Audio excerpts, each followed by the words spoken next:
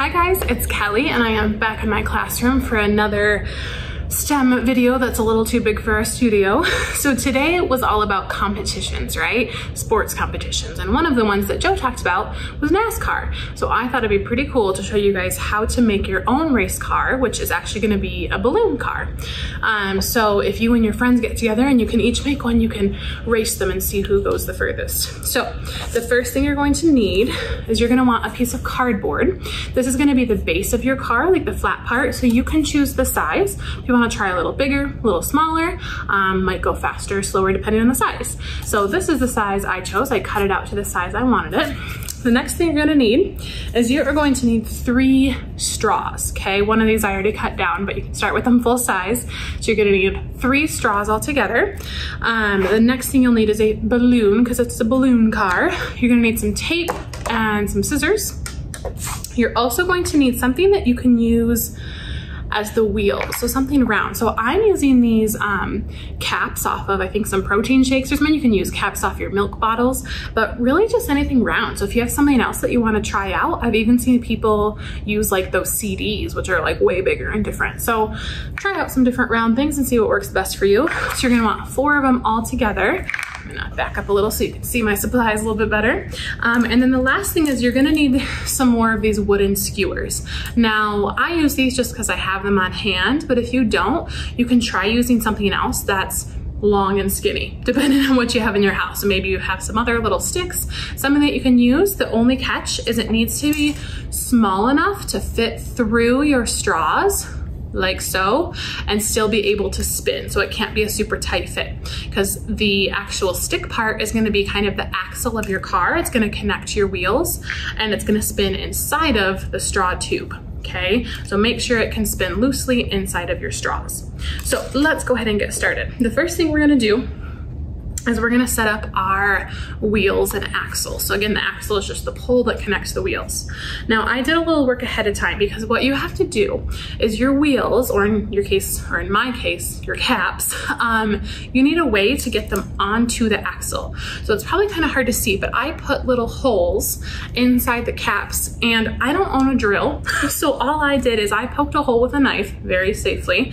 And then I used the tip of my scissors to just spin around and make it a little bit bigger um, if your parent has a drill, you can use that, but probably something that you're gonna need some parent help with. If you're not comfortable putting holes in the caps or it's just too hard depending on what you're using, um, you can just use glue and I would just put it straight on there and glue it on. Okay, that is possible. I have made one of these and I just used a big old dollop of hot glue on there. It's just a tiny bit less sturdy, so it's up to you what you use okay? So I'm gonna go ahead and set these up. What I'm gonna do is I'm gonna put one end of my axle or my skewer through the hole. And as you're making your holes, if you make holes um, or drill them, make sure that it's a tight enough fit that when you spin the axle, the wheel spins with it. If it's too loose and it just rolls around, or like if it slid down my stick because it was too loose, then you know that you have too big of a hole. so you would need to make it a little smaller, okay? Now the next thing is I'm gonna put my straw right on there. And before I do that, um, I'm gonna cut this a little shorter. The size of your straws should be just a little wider than your cardboard because the wheels are gonna go on either end. So you want it to stick out, I'd say at least about that much okay? So just a tiny bit, doesn't have to be like way far out, but you don't want it like the exact same size as the cardboard because then your wheels are gonna rub up against it. So I measured already and I found that if I just cut off right where the bendy part is, it's the perfect size. So I'm gonna go ahead and do that. And you're only gonna trim down two of your straws. The last straw you're gonna want full size, at least for now, okay? So now I've got my two straws, oops, the same length, okay? So I've got my wheel and my axle. That's a little sideways. We'll see if that's a problem later. Try to straighten it out. okay, I'm gonna slide my straw on the skewer because now I can decide how short to cut my skewer, my um, axle, my wooden stick. Because right now, if I keep it this size, my wheels are gonna stick way out far. So same thing, we don't want it sticking out that far. So I'm gonna slide the straw down so it just barely touches the um, wheel, the cap, and then I'm gonna cut it on the other side of the straw. I'm not gonna leave much room at all because I find that if you have a lot of extra room, your straw slides around and the straw is what's getting taped onto our car. So if the wheels are sliding, that's gonna make it kind of wobble when it's driving, okay?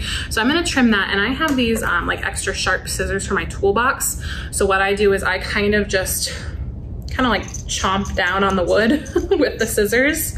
It's not gonna cut straight through. Shouldn't have my hands so close probably.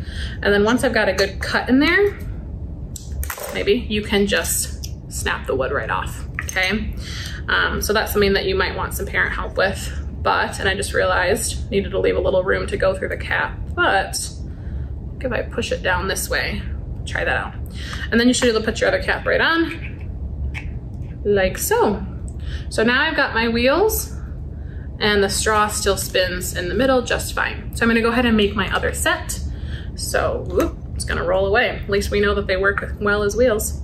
So skewer in, straw on, my short trim straw, trim my skewer, trim my axle. I'll make it a little longer this time so I have room to fit the wheel on. See, you're always learning things when you're an engineer.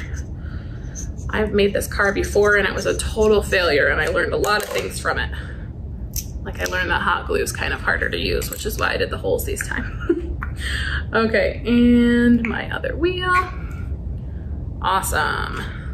Perfect. Okay, now I've got both my sets of wheels ready to go. Kind of looks like I'm lifting weights here. I'm gonna just set those there. Now we're gonna go ahead and we're gonna attach them to the base of our car. So this part's pretty easy. You're gonna line up your wheels across and then I'm just gonna use some tape to secure it. So make sure that you're only taping the straw so that the wheels can still spin inside. The only thing to be really careful with is to make sure that your, um, your straw, your axle is straight across your cardboard and it's hard for me to look in the camera so I'm gonna set it down and look at myself but you wanna make sure it's straight across because if it's like sideways like this, which I'm sure you wouldn't do, but if you did, your car is gonna go sideways. so you wanna make sure it's straight so that your car can go straight. So I'm just using some masking tape. And I'm gonna tape over the straw. I'll probably use two pieces just to be safe. I'm gonna focus here, make sure it's super, super straight. My wheels are turned a little bit, but I think I should be able to straighten those out. All right, guess I can use smaller pieces of tape. There we go. I'm just throwing stuff around here. All right, and then we're gonna do, looks pretty straight, yeah? We're gonna do the exact same thing with our other wheel and axle. So let me get another piece of tape. My tape is being silly and ripping in half for some reason, sideways tear that bird off. So like I said, this is a really fun thing. You can see it doesn't take too many supplies. The only thing that might be a little tough to find is your um, your wheels, whatever you decide to use. So like if it's caps or something, might just take some time to collect what you wanna use over time. Most of you probably don't drink four gallons of milk every week. Maybe you do, I don't know. Um, but if you get your supplies, you and your friends can make these. I'm gonna show you how to drive them or race them and then you guys can totally race them. It's a good summer activity. Okay, so now you've got this. Looks like this from the other side. So you can see I've got nice um, straight axles and we are good to go. The last step is right now, if I move this a little bit, I can show you that my car will drive. So I'm pushing out, you can see my wheels are rolling which is perfect, okay? But I want to power it. I don't wanna just roll it, that's boring, okay? So here's where the balloon comes in. What we're gonna do is we're going to use the balloon to give it energy. So when we blow up the balloon, it's going to push its air out. So if you ever felt someone blow on you, it's kind of a force, right? So we're gonna use the air of the balloon as the power or the thrust for the car. So we're gonna put a straw right in and attach it because we're gonna use the straw each time to blow it up and also to push it. So this obviously is a really loose fit if I just put the straw in there. Um, so what I'm gonna do is I put it in about I don't know, almost an inch, a little bit less. You guys see that? Um, and I'm gonna tape it. So you're not jabbing it all the way down because you're gonna need the rest of the straw to push. And I'm gonna use some duct tape just because It's a little stickier than masking tape and it'll make it a nice tight seal. Okay. I like masking tape because it peels back off when I mess up, but that also means it's less sticky. So sometimes duct tape is the way to go. All right, and this part doesn't have to be pretty as long as you've got a nice tight seal. So I'm pinching around the straw and all the way down. And to test if you got a tight seal, you're just gonna blow through the straw and see if the balloon goes up. Here we go. It works. I blew the air in my face. So perfect. um, the last step is to attach your power system to your car. So that part's pretty easy. We're just gonna take the straw and we're gonna tape it down onto the car. What you wanna do though is you want the balloon to be a little bit, I can show you here, over the cardboard. Like I don't want it up here floating because that way when the balloon's blown up, the cardboard will kind of support it and hold it up. Because if it's dragging down off the back, it might rub against the ground and slow down your car. So I'm gonna tape the straw. I'm gonna put the balloon a little over halfway on and then tape it. So here's where my masking tape comes back in because if I do it wrong, I can unpeel it, put it back on. Here we go. Perfect. And then you might notice like depending on the length of your straw, like mine is sticking off really far. I always take too much tape. Um, that's sticking off pretty far. So I'm gonna trim it just a little bit. I'm gonna trim it right where that bendy part is. You want enough for you to get your mouth on there and be able to blow it up, okay? You don't want it right on top of the cardboard, but not too far off, okay? So that is it, that's your balloon car and I'm gonna show you how to work it. So I'll show you here and then I'll go ahead and film it on the floor to show you how far it goes. So I have a couple tips for you. And hopefully I don't have to say this, but especially right now with COVID-19, don't share balloon cars with people because you'll have to share the straw with them and we don't want that. So you're gonna blow it up using this. And when I'm done blowing it up, what I'm gonna do is I'm gonna put my finger at the end to hold the air in.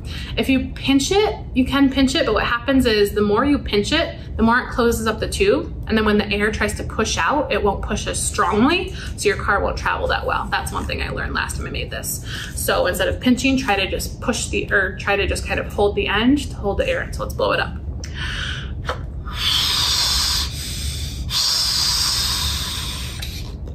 Okay, now notice I didn't blow it up as big as it can go, okay? It could go a lot bigger. But another thing I learned is that the bigger the balloon is, the more resistance you have when the air pushes against it. So if it's too big, it can also slow it down. So you want kind of a medium size. If it's too small, there won't be enough power. If it's too big, there's too much pushing back, too much resistance. So the way you want it to go is you want the balloon to face forward. I keep hiding behind the balloon to face forward because the straw, when the air shoots out, should push backward because it's gonna push you, well, it's hard to explain, but the air is gonna, should push out behind it, okay? So I kind of turn my desk a little bit. So let's see if this works. Ready? Uh oh, I lost a wheel. That's fine. Okay, I'm gonna fix the wheel and I'm gonna put it on the ground and show you just how far it can go. But you can see the air pushed out behind it, which pushed it forward. And the wheels, since they worked pretty well, other than the one that fell off, pushed it right off the desk. Okay, so take a look at it in action on a bigger space, but good luck with your cars. And remember that we'd love to see pictures and videos of your projects at work.